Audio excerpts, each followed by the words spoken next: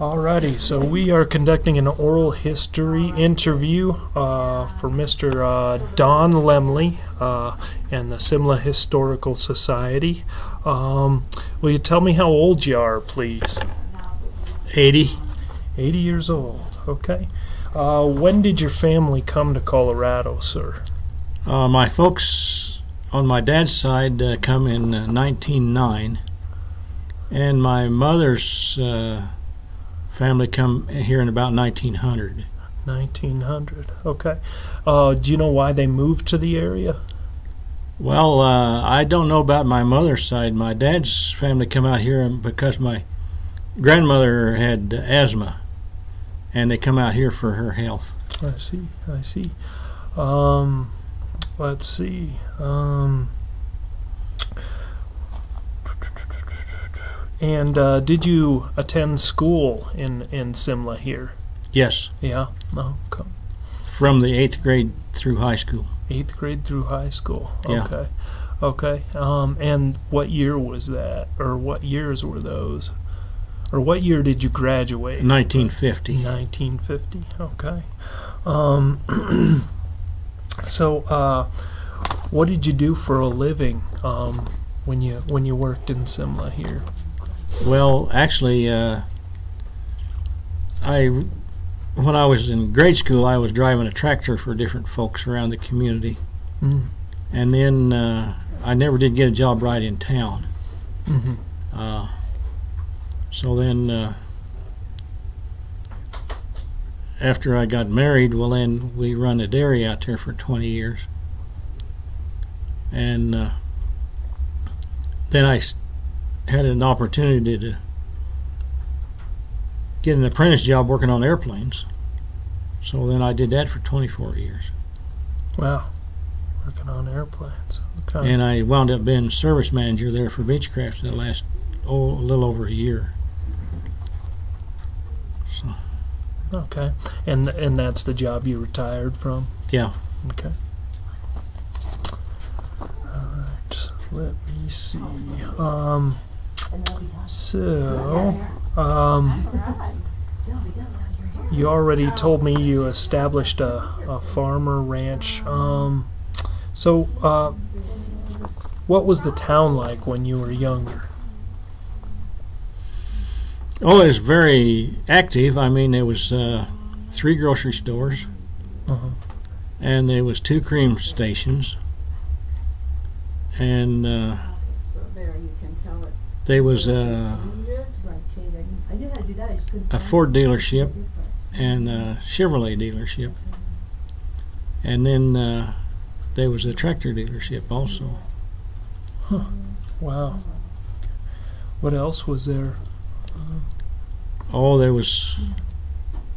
I think there was three filling stations. I'm not sure. I can't remember now. And then I don't know. Yeah. There was several restaurants and stuff, hmm but. Uh, And uh, where did most people work during those days from town here?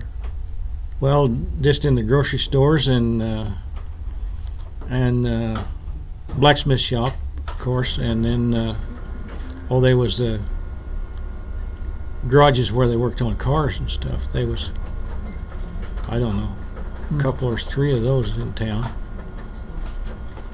and then uh, of course when Nichols Tillage Tools got started, well then they they hired a lot of folks, Mm-hmm. but that was later years.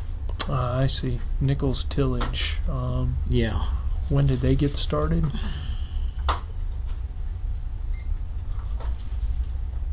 Oh, I suppose it was in the fifties. I'm not sure. Okay. And uh, they were a steel manufacturing. They made or uh, something? chisel points for uh, Chisel. uh, all this equipment. You know, farm equipment. They made those, Okay. uh, Have a good afternoon. and they're still going, but they're in in uh, Sterling now. Sterling. Okay. They moved out because the, the when the uh, railroad shut down. Well, they moved. And and the railroad shut down what late late eighties, early nineties or something. Uh, about in that time, I think. Yeah. okay. Okay. So, um, how many uh, how many brothers and sisters did you have? Oh, I had uh, two brothers. Two No, brothers. no sisters. Okay. Okay. Has your family mostly stayed in this area? Uh, no, my my uh, well, we had. Yeah, my two brothers did. They never did get married. They stayed out there at the ranch. And what are their names? Bernard and Ed. Ed died, Okay. and he was the youngest one of the bunch. hmm He had uh, pancreatic cancer, It's tough. and then uh, uh, our kids uh, is still in the state. My daughter lives in Colorado Springs, and well, my youngest son, he's back up here now. He's out the ranch now, and then my other son is in the Weld County Sheriff's Department, Hmm. and uh, my uh, daughter is an artist. She's well, they got a gallery over there in Colorado City. Hmm. And what are your sons and your daughters' names? Well, uh, um, Monty is my oldest son, and Barry is the youngest one, and then Donna is uh, daughter. Ah, okay. So they've all stayed in Colorado. Yeah. Um, and your the ranch is still in the family, Yes. from what I'm hearing you Yeah. say. Okay. Yeah. Okay. Where's that located? It's seven miles uh, northwest of here Seven miles on. Road 117. Road 117. Okay. Um, let's see. Um, so so you lived uh, you lived during the Depression, right? You were a kid then. Yeah. Oh, yeah. Yeah. What was that like? Well, it was. Uh, well, everybody was poor as hell, so it didn't make any. I mean, we thought that's just the way life was. yeah. and the only thing that I can remember is it was we were a little different than the rest of them. Our car had uh, upholstering in it, oh, but everybody else's their upholstering was gone. really? No upholstery? No. Oh, okay. and you know the headliner was gone and everything else, but our car had upholstering in the top and the headliner and, and on the doors and stuff. And I don't know why it would survive. Did the, did people use it for clothes or something like that? Or? No, no, they didn't do that. They just uh, I don't know. Uh, They didn't They they used they used to. Well, you know, you hauled cream cans and everything, and everything else you used it like a pickup, really. Okay. Yeah. Uh-huh. And uh, uh, of course, Dad Dad had set the cream cans, you know, in the between the front seat and the back seat, yeah. and haul that stuff to town. And uh, anything else that you had to haul, you know, like a sack or something or something, well, that of course it didn't have a trunk or nothing, so you just threw that in the side. Yeah. Yeah. What kind of cars were they? mostly it was Fords, and Dad had a Chevrolet, and then uh, uh, he finally traded it off, and and uh, oh, uh, let's see what? Oh, we got a Buick. A Buick. Yeah. Okay. Sure. Uh, um. Well, let's see. Um. Were you ever in the service? No, No. I I got married too quick, and and then uh, when they called me, well then uh, uh, we had a baby on the way, and and the the uh, they really raised hell with me because I didn't tell them, but I didn't even think about it, you know. Right. Yeah. What I they called me up for, I had to go my physical and stuff, but uh, they give me a. Well, I think they call it 4A or something like that. Oh, so so you so you were drafted, but they gave you they they let you out of it because you had a family or Yeah. something like that. Okay. And, And I thought about trying to maybe enlisting, but then I couldn't figure out how I was going to survive with that kind of money at that time. right. Oh, it's tough. So I didn't do it. So Sure. Um. So, uh, what's been the the greatest change or changes you've seen around town? actually, the decline of the town Yeah. that's that's been really the main thing. Yeah. Can you describe the decline a little more? Well, just as the uh, agriculture got bigger, and uh, of course at that time uh, they were trying to a lot of folks and trying to make it on 160 acres, and uh, that just wasn't. It did. It worked for a little while when the when everything was. Oh, the ground the ground was new and stuff, you know, and it it produced more of it like that, and then uh, uh, they had seemed like they had more moisture then after the drought in the well, I guess it was 30s, it was 34 and 35 and stuff. Mhm. But then uh, it was, of course, then the war came along and and uh, they wanted everything farmed and stuff, and everybody was farming everything, and but the town was just booming at that time. So you're saying the the soil wasn't as or was more fertile back Oh yeah, then? and because see, as as it was farmed and the winds blew and everything else, and uh, we've got uh, well, you can see out there on our place where the there's oh at the at the north end of the place is the, there's piles that uh, probably six feet high that the wind swept the farmland up there and just dumped it on the fence line Oh, okay. and uh, it just blew away. The topsoil just blew away. That's what happened. I see. I see, and and people have gone to to mostly ranching around here. Yeah, well, they should have been that way to start with. yeah, It never should have. Any of that shouldn't have been broke up, especially north. Now in south, uh, it's more flat, you know. But up there where we're at, it's all hills and stuff. uh, And uh, it just wasn't. It just wasn't meant to be farmed, really. yeah. So so you suspect the the the greatest change, in other words, has been the decline of the town, and, and you it's tied in with with farming in yeah, the yeah, area. yeah. That's for sure. and how that declined too. Okay. Um, let's See, Rama was the uh, when uh, my folks came out here. Of course, Simla wasn't even thought of then. Yeah. So they, they everybody landed in Rama because that was the big. Uh, well, they had all kinds of stuff there at that time, I guess. Mhm.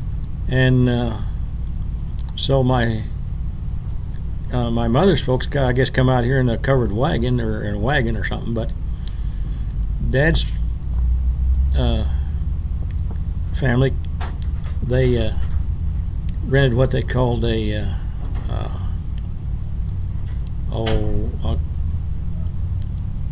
oh what do I want to say? Anyway, it was a car special for for immigrant cars, what they called it Oh, and they loaded their horses and their belongings in that car and came out to. Rama, to Rama, and and what time was what year was that again for me? Did you say uh, 1909. 1909? Okay, yeah, and then Rama's kind of a smaller, t- was even smaller than Simla now. Yeah, now, yeah. yeah, yeah. Of course, it wasn't really booming. Well, it, there was more going on in, in Rama than there is now, but then uh, Simla was ahead of Rama then, later years. Uh, okay. And uh, of course, they were really, Simla was ahead of Matheson also. As far as, of course, like I say, there was a lot more going on in both of those towns than there is now. Yeah. yeah. Uh, so, uh, do you have any any particular memories that stick out from when you were a kid? No, not. Uh, uh, well, I I went to my first movie here in Simla Yeah. when I was in the first grade, and it was the movie theater was in the uh, Baptist church then, Oh yeah. and uh, I was going to Coons Crossing then because there wasn't enough kids for the school I was supposed to go to. So they, the teacher was lived here in Simla, and she drove out that road, and then I just walk over because we lived a half mile off the main road. Uh huh. So I'd walk over there, and she'd take me up to Coons Crossing to school. Well, then when they they had the Snow White and the Seven Dwarfs was That was your down here, and she loaded all of us kids up and uh, brought us down to see that thing. And First grade. wow. of course, at that time, you know, there wasn't that many kids in school. But then, Yeah. when you got up to, oh, I don't know, I think twelve was a whole bunch at that time.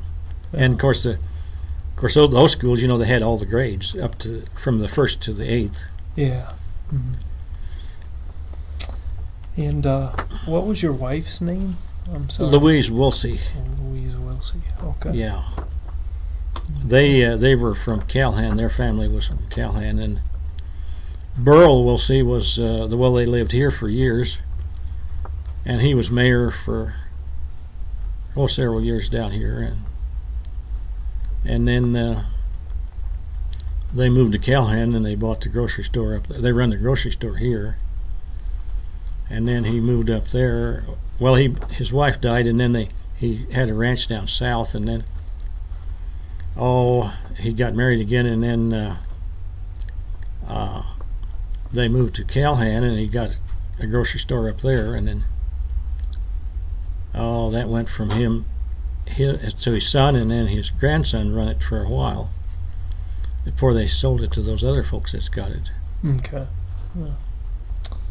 And you're married to Marilyn right now, right? Yeah. Okay.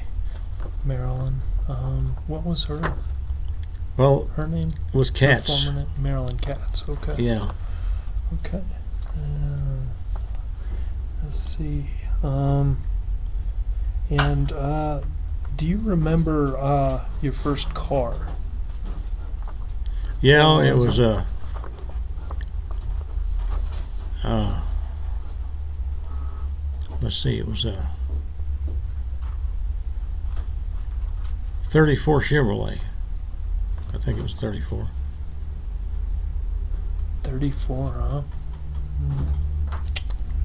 And uh, I give a hundred dollars for it, hundred dollars, huh? and it was a piece of junk. yeah, I think most people's first cars are pieces of junk. Yeah. Well, at that time, you know, right after the war, because they didn't they didn't uh, bus the high school kids in. They had to stay in town and dorms and stuff at that time.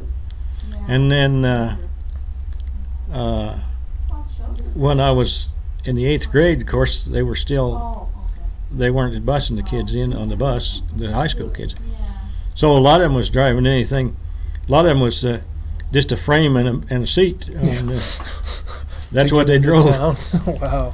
Uh, but then uh, that uh, well, I guess when I was in the eighth grade, they the districts uh, got submerged with all these other districts around and formed District 100. Uh-huh. Well, then they uh, we got to ride the bus for nothing. Yeah. So So back then they got to school any way they could. yeah, You said they had dorms, huh? yeah, That's pretty interesting, huh? So, so kids who had fa- farms in the outlying lands or ranch lands, they would, they would come in and stay at a dorm Yeah. instead of going back and forth Yeah. there, huh? Interesting stuff. And you said you drove a tractor when you were in elementary school, right? Yeah. Yeah, yeah. Did you just till fields and stuff Yeah. like that? Yeah. yeah. I had. Uh, well, I look back on it now, and I was, you know, way out the hell and gone farming someplace, and I'm thinking, what if something had happened? You know, I'm out there all by myself, Right. and uh, every once in a while I'd get stuck and Well, have to unhook the one way, and always carried a chain so that I could drag it out of a bog. um, And uh, of course, see, I well, it was, I knew better than to ask the folks for money because they didn't have any, and they, well, I was, you know, if you wanted money, you just walked, went out and worked and got it. Yeah. And we, all of us guys, was that way at that time because I don't ever get it. a lot of the kids my age worked in the grocery stores, you wanna put one up here in town. and uh, that gave them jobs, and they had other, oh, everything they could do, think of, you know, to yard work or anything else to make a few dollars. Yeah. So uh, we all worked. I mean, we didn't. depend on our folks to give us money. That wasn't that didn't happen. Sure. And you might make a few extra and we could hang And them up um, and- you live in town here now, right? Yeah. Yeah. Um, how long have you been in town? Oh, it's been four years. Four years. Okay. Yeah. Okay. So you lived out on the ranch before that? Yeah. Or- okay. And um, let's see. Uh, so, um, are there any, or were there any, uh, like community traditions or celebrations, um, that the town did on a regular basis? Uh, Labor Day was one of them. uh-huh. They always had a. Ever since I can remember, they had a celebration on Labor Day, Mm. and then they'd had these. Uh, oh, like the John Deere would have what they call John Deere days, Mm. and they'd come here and and show movies and advertise their tractors and stuff. And uh, uh, oh, there was there was quite a lot doing them days. But that one thing that was always was Labor Day. They they always had something going on in Labor Day. Mm. And uh, let's see. Um, any anything special you remember from the Labor Day celebration that they they either did in the past or that they still do? No, it was well. They had uh, oh different outfits that come here and sing, and and then they had uh, magicians that put on a show, and uh, oh, they'd have different. Uh, well, like they had uh, contests for people that drew the had the highest corn stalk, and and uh, the heaviest wheat and beans and all kinds of stuff like that. Ah, okay. Um, I'm gonna grab a uh, I'm gonna grab a map real quick and and just see if there's anything that. Uh,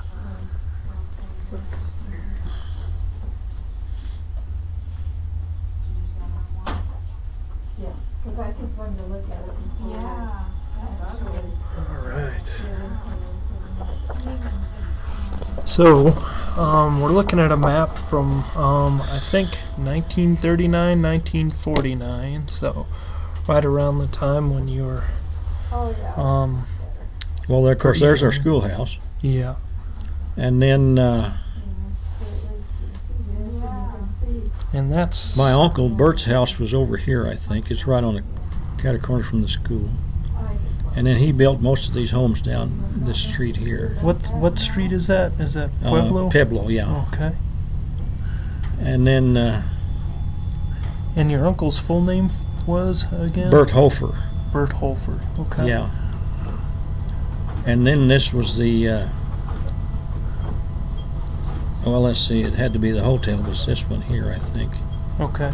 So that's and then the the grocery store in, was up in right in this. There was one grocery store in this street, and one here on the corner. that's And then the, there was a grocery store. Uh, there was three grocery stores on this street here. so that's Sioux Street right there. Yeah. There were three grocery stores on Sioux Street. Yeah, Okay. and uh, I don't know. Is this Highway 24 here? That is. Yeah. Highway Okay. 24 going through the center of town.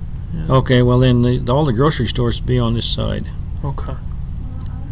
So then- right where like uh, the Sioux Street apartments and the and the uh, liquor store and the Ranchland News are at now, they were kind of along that street yeah, there. they uh, and then the well the the one grocery store was just north of the where the uh, uh, paper office is. Uh, It was in that where that trailer house is now, oh, okay. and they had what they called a big four hall. Uh, Big Four Hall. yeah. Well, this must be the uh, That's the apartment. that's apartment house. Yeah, this would be the big four here. What was that? Oh, they had uh, different things in there. They, uh, they had a dealership in there. Well, that's of course that that building's still there where the dealership was. Uh-huh. Uh, this Big Four was just south of that. Let's see, it'd be south. Yeah, it'd be south, and they tore it down. Okay.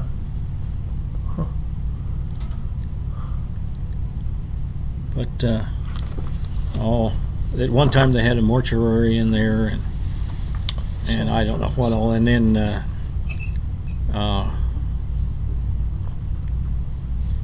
oh, Moore's had a uh, international dealership in there, and of course there was a dealer before that also.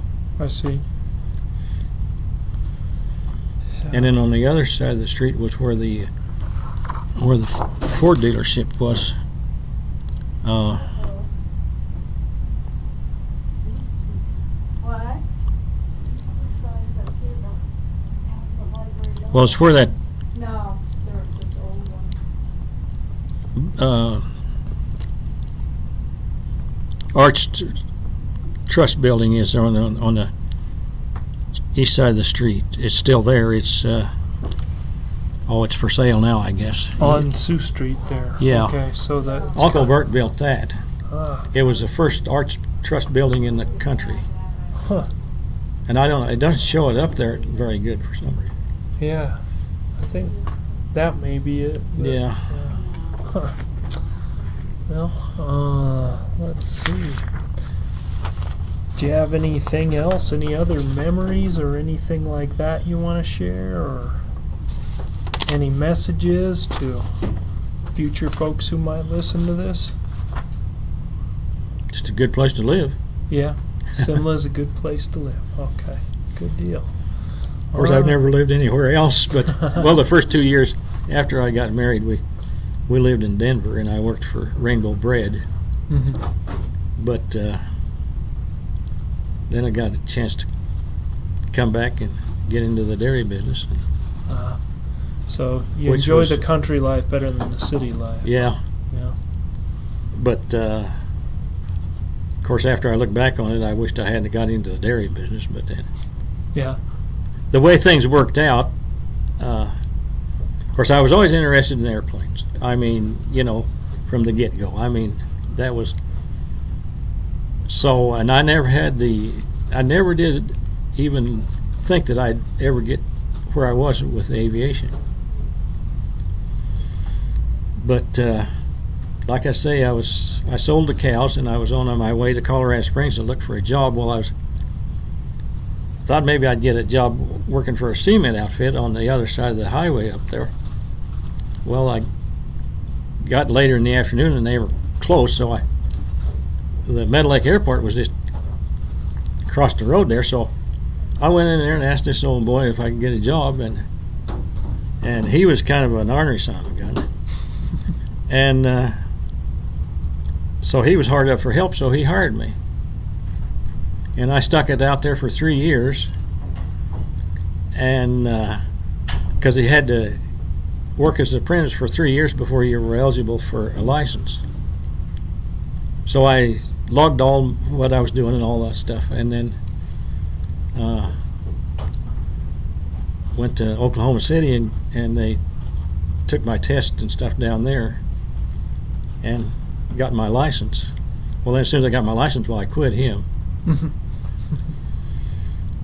Well, then I worked for another guy there for a while, and then I got a chance to uh, work, get a job over at Beechcraft. So I went over there and I worked there for ten years. And they sold out to Raytheon.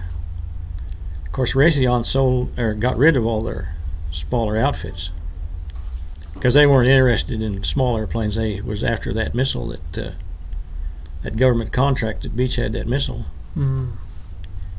So uh, that ended that. Well, then I worked for a guy that had a flight school, and uh, I went back out to Meadow Lake and worked out there till uh, I finally decided to quit. But it was it was I enjoyed it. I mean, it was oh I just I just had the capability, I guess, to I, it never uh, it wasn't hard for me. I just kind of come at natural, I guess. Natural mechanic, huh? Yeah, Doesn't come to everybody. and uh, it. Uh, well, I I overhauled lots of engines and never had a problem with any one of them. And uh, so I turned the uh, service manager down twice there at Beech because I really didn't. I wasn't really interested in in the job, but it kind of come down to. Well, they didn't have anybody to pick but me, so okay, I'll take it. Yeah. But I guess I made them happy because they never, they were, uh, Beech was very uh, stern on customer service. Mhm. And uh, every once in a while they'd call me up and say, Well, how's things going? I said, Well, okay, I guess. Well, good. And that was the end of it. Yeah. that works. Yeah. Great. So, So most of your life as an aircraft mechanic, uh, um, let's see. we done uh, emergency work for the airlines. Oh. Uh-huh. And uh, one of my hardest decisions I ever made, I think, was uh, see the the rule was when when they called a mechanic, the airlines called it. It was your airplane until you said it could go. Uh-huh. I mean, it was it was your decision. So they called me down there, and the and the crew thought they smelled smoke in the cabin. So I goes down there, and we taxis out on the runway and run the airplane up and everything else. Well, I couldn't smell smoke. So what am I going to do? You know, I I couldn't really say, well, we got to ground this thing because because I couldn't smell smoke. So I Uh-huh. said, well, it's okay. Signed her off. And it was okay. It was okay. yeah. Yeah. I'm thinking, if that thing blows up in the air, I'll never get over this. Yeah. Yeah. But uh, it was fine. I mean, but until you, uh, you know, and they and they used to school us on how to fill out the logbooks because you didn't say you uh, removed this part because it failed.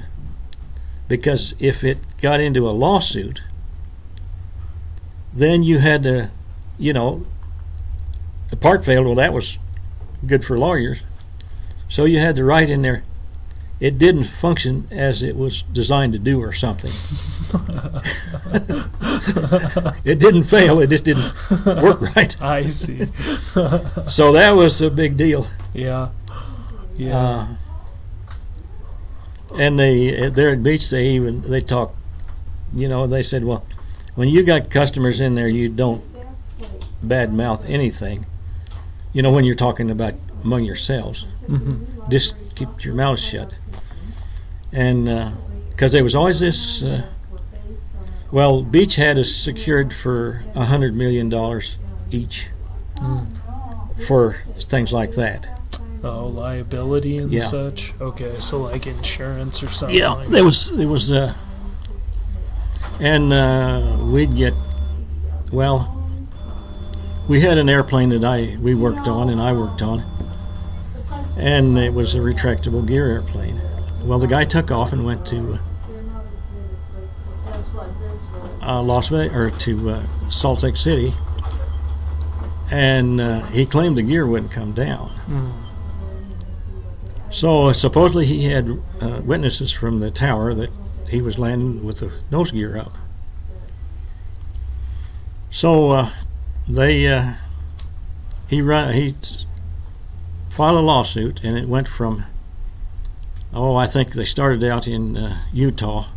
Anyway, it went from Utah to to Kansas and then it wound up here in Colorado. But each time that it'd go from one state to the other, they'd bring these pictures in. And I looked at these pictures and I knew there was something wrong with the way the airplane looked from the pictures that it wasn't right. And the last time they showed me those pictures, well, he, this, this guy took pictures of the landing gear and stuff. Well, they- had a hydraulic cylinder that run the gear down, the nose gear. Well, they all run on a hydraulic cylinder. Yeah. anyway, uh, there that that part that that pushed it down, you know, it was clear out. Uh-huh. It so that cylinder was fully extended. Uh-huh.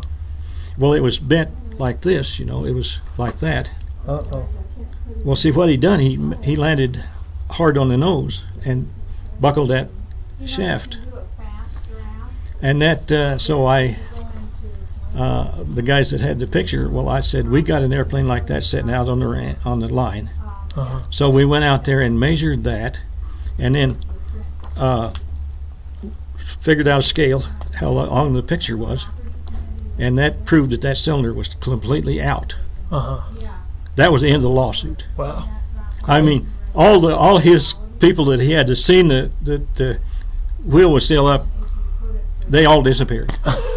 that ended the lawsuit right then. Good. But he Good. cut his own throat by taking all those pictures. Right, right. Yeah, that's good. Wow. But uh, So averted that disaster. Yeah, you don't think about that a lot, though. Um, you know how much someone has to basically put their neck on the line when they're signing off on an airplane, especially one with a lot of passengers on it. Yeah. well, even the small ones, you know, they'd uh, uh, they these lawyers get a hold of these things and they'd sue the company, the people that made the part. If it was, you know, made by somebody else, like the alternators and the starters and stuff, carburetors was made by other than the manufacturer of the airplane. They, well, and then the engines was either Lycoming or Continental, and uh, they'd go after everybody and the mechanics. And of course, whenever you signed those logbooks, you listed all you done and say this, this aircraft is airworthy and sign your name with your number. hmm And uh, That's the moment right there. yeah, Yeah. I had a doctor one time that well, I'd measured the engine and uh, uh, we over, well we didn't overhaul the propeller, but we sent it out and everything. And I uh, I tried to get him to come out and fly the thing around the pattern and let me check it out. Well, he come out there about dark one night, headed for Las Vegas. Well, he jumped in the airplane the way he went. Yeah. Well, he didn't have any trouble, but it kind of made me a little bit nervous because I'd run it on the ground and stuff, but then the flying it is a little different. Yeah. Yeah. Yeah. But that's the way it was. Yeah. My Wow. Oh, good stuff. Well, yeah, I don't I don't really have any more questions unless you have something else you can recall that you'd like to tell about or anything else. No, it was. Yeah. That worked. I think uh, I think uh, we learned more in school at that time than we do now. They Yeah. do now, because by the time I got out of the second grade, I could read and write and do math a little bit, you know. Yeah. Uh huh. Yeah. And uh, we had this uh, math book. They had the th- three monkeys. Uh huh. Jocko, Jerry, and JoJo. well, JoJo was the ornament, Yeah. so he'd climb up a tree and throw co- coconuts on his Jocko and Jerry's head. Well, then, how many coconuts did JoJo throw on their heads? and they'd be in a pile, you know. Yeah. So you'd count the coconuts. that was the the math lesson. Yeah. Wow. that was the first and second grade math book. Yeah. But uh, I mean, it was it worked. Yeah. Yeah. That's interesting stuff. Good deal. Yeah. Of course, we all walked to school because they had those schools close enough that you could either ride, walk or ride a horse or something. Yeah. And uh, I mean, it was just something we done. We didn't because I walked two miles, and uh, Two Cool. miles. Huh? Wow.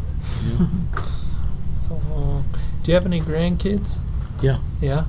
yeah, I got uh, three. Three. Yeah, Any great grandkids? yeah, I got four of those. Four of those. Huh? Wow. That's a lot. Yeah, of my uh, my grandson, he's uh, uh, he's flying. Uh, he's in the. Uh, well, he started out with the Colorado Air Guard, and he was a crew chief on the F-16s. And then uh, he's got airplanes in his blood, Mhm. so uh, he'd learned how to fly a private. He had his private license anyway. He got a chance to. Uh, they were kind of looking at him up there at uh, Cheyenne for the 130s, Mhm. C-130s.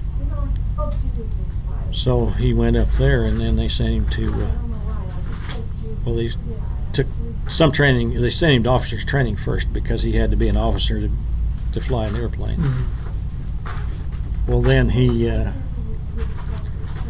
flew down to Pueblo for a little while, and then they sent him to Corpus Christi, Texas. Mm. And then they flew the bigger ones down there. Uh, the King Airs down there, and then uh, then he's in Arkansas now, and and he's uh, uh, flying simulator down there. But then he's going to go back to pretty quick this month, I think. Back to Cheyenne, and then he'll be flying the 130s there. But uh, I was really amazed at when he his graduation down there when he got his wings in Corpus Christi. Well, the general from uh, Buckley came down, and he was because Jonathan was the only one that was graduating from from Buckley, Mm. and the general from uh, Buckley come down and give my grandson his first wings that he got when he got his wings, and he said, "I didn't have any sons." And he said, I wanted you to have these wings because you're one of the best young men I've ever had under my command. Mm. Wow. That's special. Yeah. General. Wow. Huh. Great. Yeah, so maybe he got the his love for, for airplanes from you, huh? Yeah.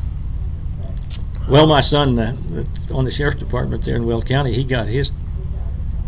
He flew too because they were hauling prisoners around over the whole, even the U.S. So